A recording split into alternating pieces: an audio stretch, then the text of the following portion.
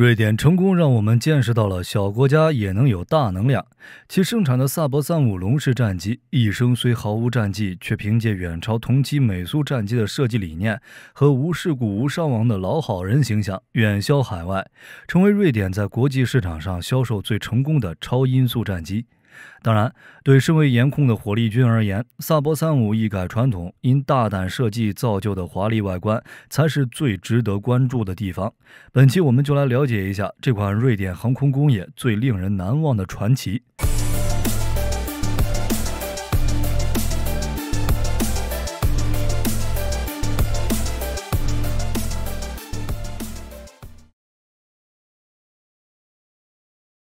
萨博三五战机服役四十五年，虽没有机会在实战中证明自己，但它却是世界上第一种运用双三角翼布局的超音速战机。有趣的是，比苏二七落后两代的萨博三五，竟然更早地做出了眼镜蛇机动，被视为世界上第一种可以完成此动作的喷气战机。即使到了现在，萨博三五依然是除美俄中三国战机外，唯一能做出该动作的战机。这在实际近距空战中具有重要的战术意义，如己方战机在转弯或盘旋等机动过程中，突然发现身后较近距离来了一架敌机，己方战机便可通过使用眼镜蛇机动快速减速，使敌机冲到前方，处于受打击的位置。另外，己方战机突然改变的飞行状态，也会使敌方多普勒雷达失去目标，从而减小遭受攻击的可能性。所以，像萨博三五这般能做眼镜蛇机动的战机，生存能力更高。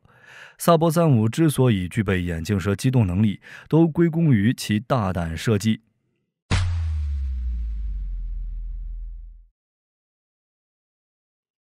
二战结束后，战机一举从螺旋桨时代跨入了喷气推进时代，加大相关领域投资，法国和瑞典也就成了该时代的先驱者。如瑞典，在一九五零年年代时，虽已有能与 F 八六军刀旗鼓相当的萨博二九坐镇，但伴随喷气技术的快速更迭，各国都在想方设法让自家战机突破音速。于是，瑞典就委托萨博公司展开对下一代战机研究。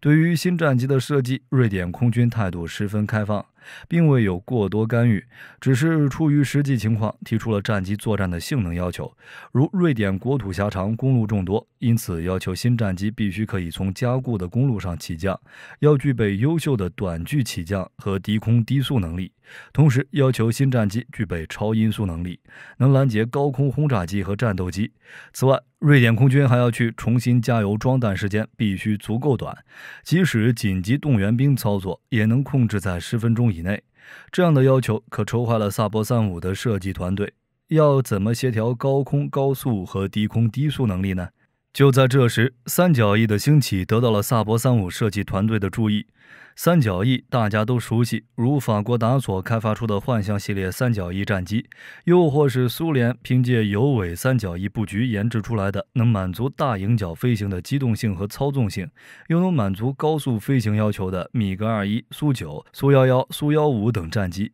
但瑞典的萨博却将三角翼布局运用到了极致。采用三角翼布局的战机，在超音速飞行中，机鼻形成的冲击波到达三角翼的大后掠前缘时，会使三角翼产生非常高的气动效率。在大迎角飞行时，三角翼的前沿还能产生大量涡流附着在上翼面，从而提高升力，飞行效果非常理想。但三角翼布局却不利于战机低速飞行时的机动性和操纵性，如在起飞、降落和低空对地攻击的时候，极易翻车。为了改进这一缺点，萨博三五的设计团队在掉完大把头发后，奇迹般地创造了极为独特的双三角翼设计，即在三角翼配置上额外搭配一组较大的三角翼，来使萨博三五在高速低速方面拥有良好的操作性。之后，萨博三五的工程师们便根据新设计制造出了名为萨博二幺零的验证机，其内翼的八十度角为战机提供良好的高速性能。外侧六十度翼则给战机提供在低空速下的良好性能，验证结果非常成功。一九五五年十月二十五日，萨博三五的第一架原型机进行了首飞，并于一九六零年三月八日进入瑞典空军服役。当然，双三角翼的设计也有缺点，就是萨博三五很难降落，尤其早期的版本，飞行员不得不在降落时手动稳定飞机。但除此之外，双三角翼布局的萨博三五战机在其他方面都完美满足了上述瑞典空军的要求。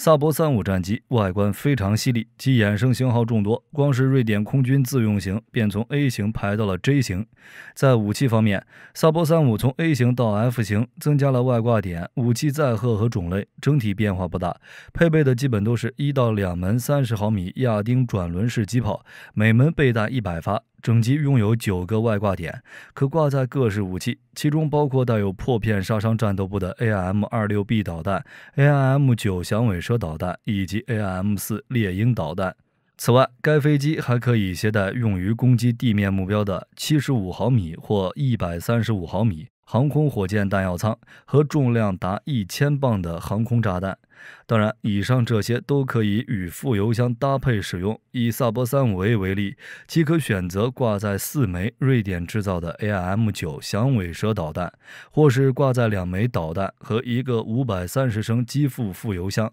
两侧机翼下方的一百三十五毫米航空火箭弹药箱，通常作为补充火力使用。在短距起降方面，萨博三五可以在六百五十米的距离上起飞，亦可在五百三到六百一十米之间的跑道上降落。为实现这一目标的工程，萨博三五除了采用前面提到的双三角翼布局外，就是其配备的 RM 六 ABC 涡轮喷气发动机。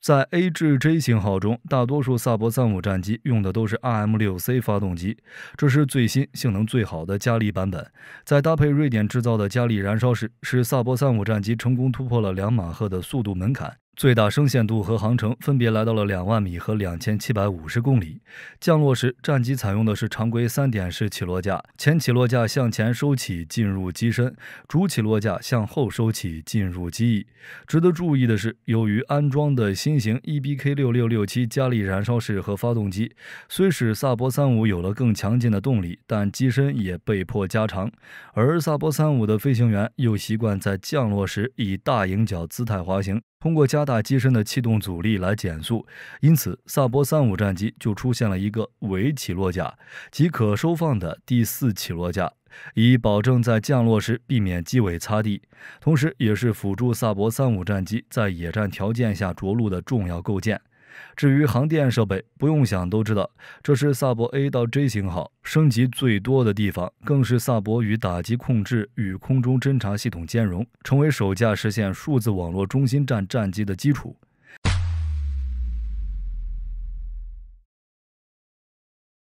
最初的萨博三五 A 型安装的是爱立信 PS 零二雷达和 PN 七九三 A 敌我识别器，其设计基于法国 CSF 希拉诺战斗机雷达及其内置火控系统。到了一九六六年，萨博三五 A 开始升级航电设备，其集成了萨博 S 六 B 瞄准系统，其中包括机鼻下方的红外搜索和跟踪传感器。据悉，萨博共制造了九十架萨博三五 A 型号，其中前三架是预生产型评估机。接下来的十七架没有安装雷达和其他一些航电，被作为地勤和飞行员的单座教练机使用。剩余的才是 A 型的量产战斗版本。直至一九七六年，最后一架萨博三五 A 单座型才被新型号的龙取代退役，即萨博三五 B 型号。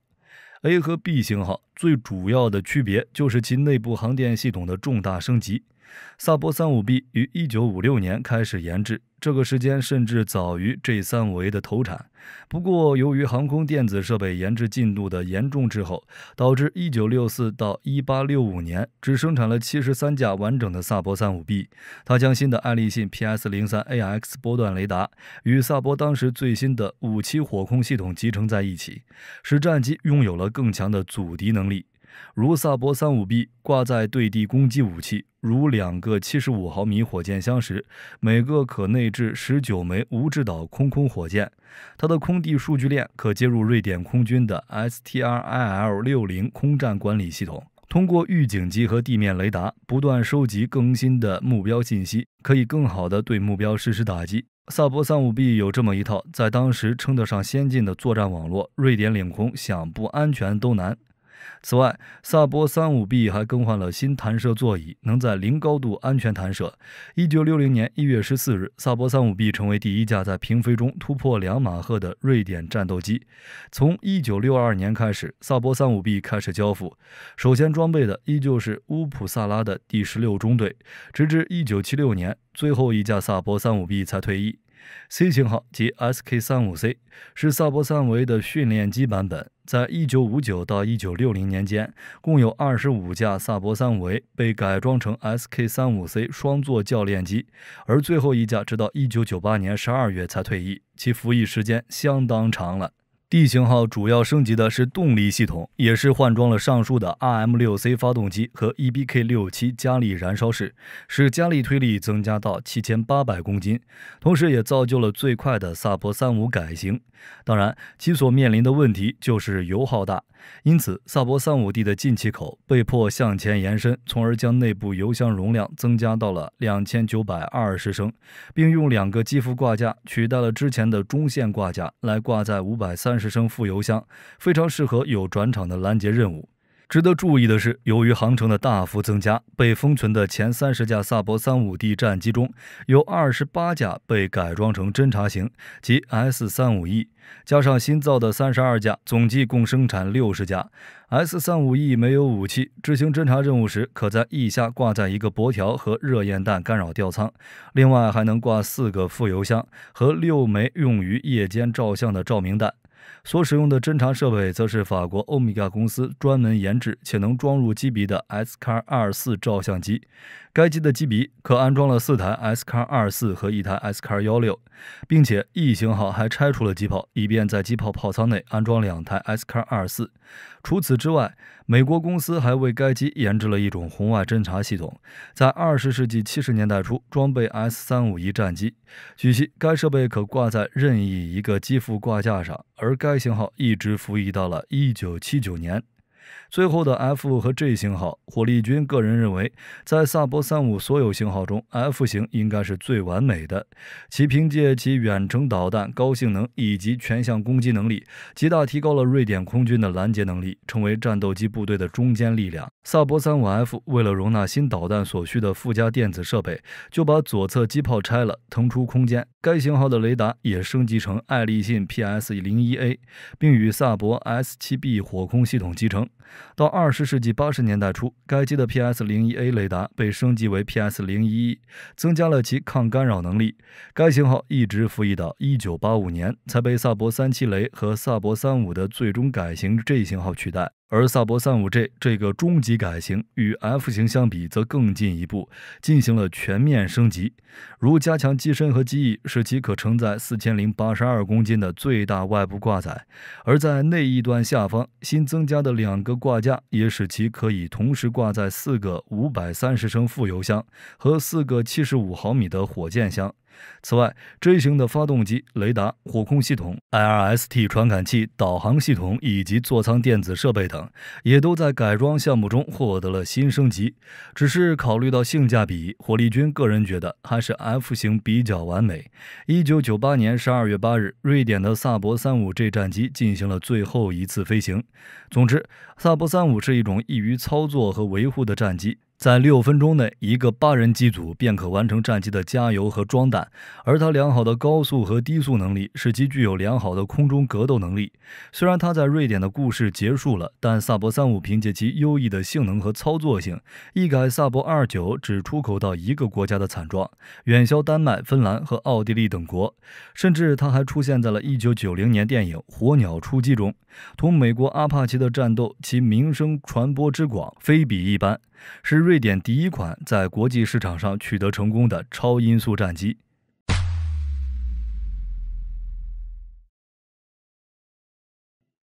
外销给丹麦的版本总称是萨博 35XD，总共有五十一架，分为单座版 F35 攻击型、2F35 侦察型以及 TF35 双座教练型。其中 F35 攻击型是这里面最重的，也是一款攻击轰炸机，有九个武器挂架，能够携带空对地导弹、电子对抗措施，并保留了两门三十毫米机炮。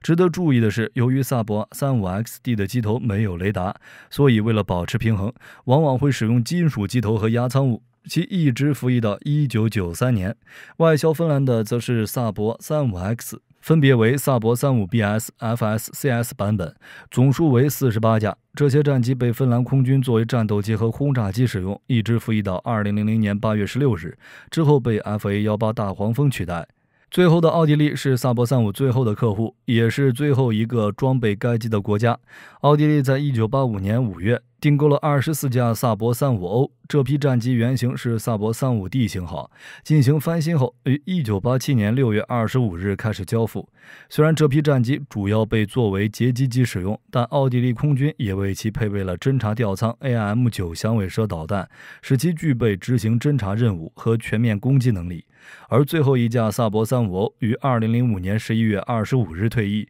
被租借的 F 五 E 取代。全世界最后一架萨博三五就这样退出了历史舞台。